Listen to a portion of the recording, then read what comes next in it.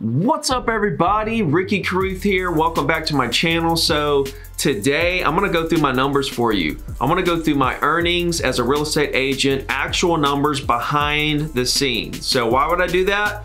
Because I want you to know what is possible in this business. Okay, I want you to know that you can achieve those really enormous goals that you have for yourself. Okay, if you put the work in, if you have the best intentions and you're patient, okay, and you just continue trying to help people and build that brand, right? Personal brand is key.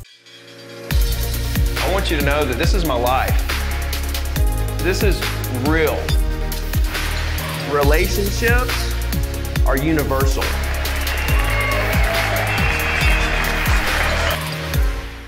Before I get into my numbers, if you haven't signed up for my completely free real estate coaching program, that's at zero to diamond.com. Link is in the description. There's a 90 day action plan online course. There's live training twice a month and you get emails from me daily and you're really deeply connected with me. I answer all DMs on Instagram, emails, any questions that you have, just reach out. Okay, so let's look at my numbers so far this year. Okay, right now it's June 27th, 2019, and I'm sitting on $512,428.45 in gross commissions earned. So here's a check stub right here. You'll see the gross commissions right there, 512, 428.45. Um, I give 1% of all my commissions for as long as I can remember to Children's Miracle Network. So that comes out to a little over 5,000. Also, I pay my Remax fee, which is 5%. Okay, so that's about 25,000. All right, and so my net figure after that 5% and the Children's Miracle Network donation brings me down to $481,018.72 so far this year. So I'm looking at about the same numbers as last year. Last year I grossed $1,012,000. Okay, so this year it's almost halfway through the year and I'm at $512,000. So I'm right there in line with where I was last year. The year before, okay, I did $1,060,000. Okay, so I'm right there around a little above a million dollars a year for the last two years and going on third year this year. So let's break down this $512,000 that I've made so far this year. Okay, so I estimate that I have about 25,000 in marketing, another 25,000 for my assistant, and then the 25,000 for the 5% Remax fee, another 5,000 for the Children's Miracle Network donation. That brings my net figure to about $420,000 so far this year. Now, out of that 420,000, I put 30% back for taxes. So that's going to be 126,000 that I've put back in a separate account just to pay taxes with. So that brings my net net net figure down to $294,000 halfway through the year in my earnings as a real estate agent. So out of the 294,000 after living and all the other expenses, let's say I end up with $250,000 to save and invest. Sounds incredible, right? I know everybody wants to be at a million dollars a year, save a half a million dollars um, to put into whatever they want, stocks, buy real estate, whatever they want to invest in. I think the problem is, is that you're basing your happiness on this million dollars a year. And I'll tell you right now, when you get there, it's not what you think it is. Okay, it's just another day, right? And then tomorrow you start back over at zero. We have to continue on this journey of trying to figure out where our next deal is coming from. Every day when I wake up, I'm thinking, where is my next deal coming from? Who can I help? Please don't base your happiness on the fact that you want to make a million dollars a year and only making that million dollars in a year is what's going to make you happy. Be happy with the process. Be happy that you put as much effort as you could possibly put into making that million dollars, right? And that you know you're going to make it based on the effort you're putting in today.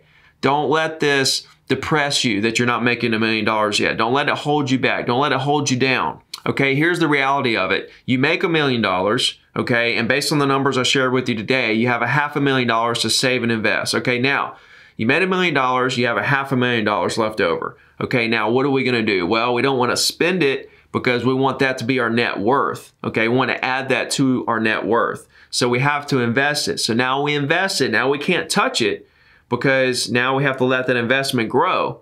Okay, so now we're right back to being broke. That's why I say we start over at zero every day because we're going to take what's left over, we're going to invest it for the future. Okay, we're going to put it there, we're not going to touch it. So we're right back at zero. Yes, we have a nest egg. Yes, we're building wealth. Yes, our net worth is going up.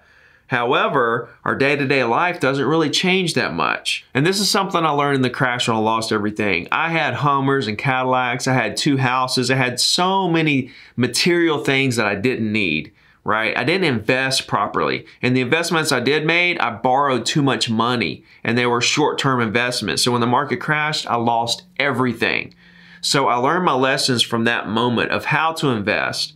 And now I'm in a situation where I only have one house. It's paid for. I'm not borrowing a bunch of money to buy a bunch of properties on a short, short-term investments right? I, I, am borrowing money, but I'm borrowing money against long-term investments. So there's two parts of this. There's the fact that you have to learn how to save money. You have to learn how to live way below your means, right? And also learn that happiness doesn't come from hitting those goals. Yeah, you can be really happy when you hit that goal. I'm not saying don't celebrate. Hell, you know, I'm celebrating every day because my happiness comes from the effort that I put in on a daily basis.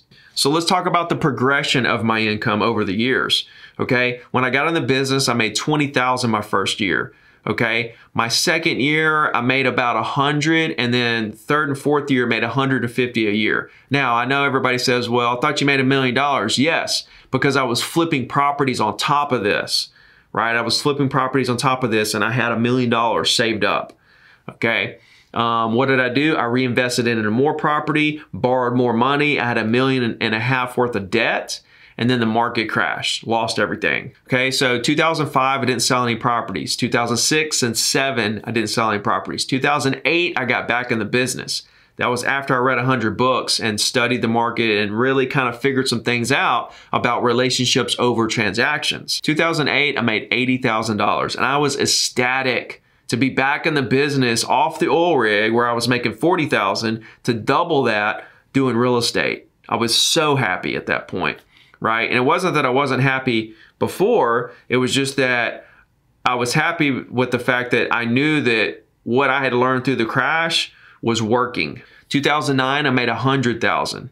2010, 150. And that was the year during the oil spill. It was a down market, a mini recession. You know, everybody's running for the hills, and I made 50% more money that year. 2012, I doubled it. I was at 300,000. 2013, I was at 450, right? 2014, I was just a little bit higher than that. It was like right at 500,000, okay? And then 2015 and 16, I made 600,000 and then I made 750. Okay. And then 2017 was the first year that I broke a million. I did 1 million 60. Last year I did 1 million 12. And this year so far I'm at 512. So that's kind of the progression of it that kind of gives you the whole story of, you know, the ups and downs of the market and everything I went through. So I hope this video helps you out a lot. Just hear a little bit about my journey and the hardships I had to go through and the lessons I had to learn to get where I am. This business is not easy, but it's so worth it. So just continue to put the work in. Let me know what in the world I can do for you. Please subscribe to this channel. Shoot me a comment. Let me know what video you want me to make next. We'll talk to you soon.